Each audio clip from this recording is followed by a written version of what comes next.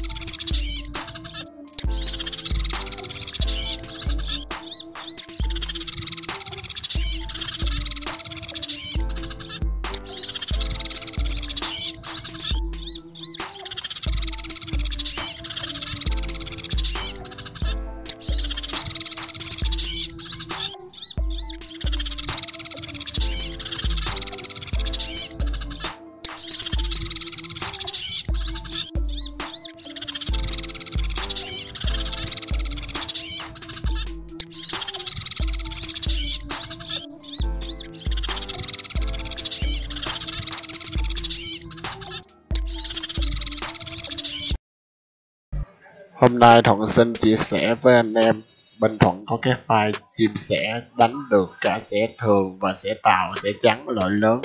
Thì file này là file kiểu như là gom hết bậy anh em. Nếu anh em nào cần thì liên hệ số điện thoại của Thuận để Thuận tư vấn cũng như cắt ghép chỉnh sửa cho nó hợp lý để anh em dùng lo điều khiển từ xa hoặc lo thường đánh nó được hiệu quả hơn cảm ơn anh em trong thời gian qua đã ủng hộ bên thuận kênh sân bậy cảm ơn anh em rất nhiều. Chào anh em.